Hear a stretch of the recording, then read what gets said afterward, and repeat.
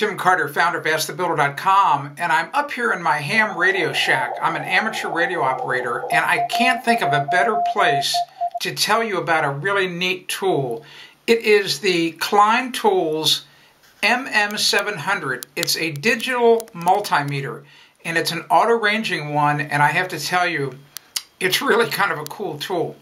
So I could talk to you for at least 10 or 15 minutes about all of the fine points of the electrical things that it can test. Uh, but suffice it to say that obviously you can test both AC and DC voltage, AC and DC current, resistance, DC millivolts, DC and AC milliamps, AC and DC microamps. You can check Fahrenheit, centigrade temperature with it. Uh, you can do uh, continuity testing. That's really important. Uh, and of course, it, what I like about it, this particular um, multimeter, and, and some other ones do this, but it emits a tone. In other words, when you've got continuity, you hear an audible tone. Here, listen to it. That was pretty cool, wasn't it? Okay, so just understand that this is a really interesting tool. It, it, who's it for? Who would use something like this? You know, if you're a homeowner, uh, if you are a electrician, a heating and air conditioning technician, uh, serious do-it-yourselfer, you really should have a multimeter with you. And the reason why is, is there are just so many things around your home that you can use it on. I mean, you can use it to troubleshoot a, a three-way switch. Uh, you can use one to troubleshoot a pesky doorbell that might not be working. Uh, you can check to. I know this sounds crazy, but let's say you want to see if uh, light bulbs are truly burned out. Well, guess what? You can do it by just checking the continuity of a light bulb.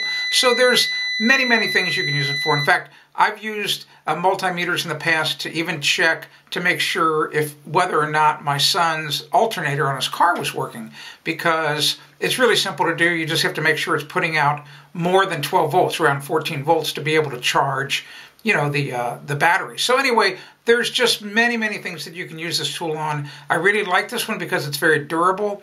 I like the auto ranging function on this tool because that means I don't have to try to guess what the voltage might be of something. It just automatically will figure it out.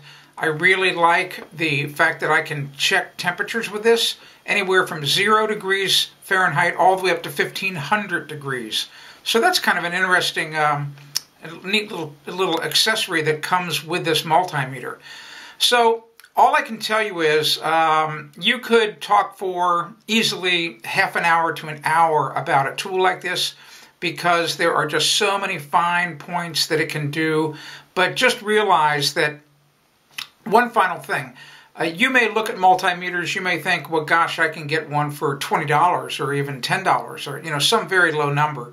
Uh, and, and then there's ones that cost over $100. Well, in, when it comes to multimeters, you need to know this money means everything. In other words, if you want a multimeter that is robust, uh, that can handle what you're going to throw at it, you're going to want to spend a little bit more money. And here's the best part. A tool like this, you take care of it, it's going to last forever. So I really, uh, I really like this tool. Um, I love multimeters. I use them all the time. I use them in my ham radio work uh, when I'm building kits and uh, troubleshooting radios, uh, things like that. So just understand that you as a homeowner, maybe a contractor, you're going to have a good time with this tool. And of course, it's durable. It's made by Klein Tools. Uh, you can drop this from six, uh, six and a half feet. Not going to get damaged. Really, really, um, really, really a fine tool. Go ahead, check it out yourself. Look for the Klein Tools MM700, the digital multimeter. And remember, it's an auto ranging one. That's really important. I'm Tim Carter for AskTheBuilder.com. If you want to discover more home improvement tips, go to AskTheBuilder.com.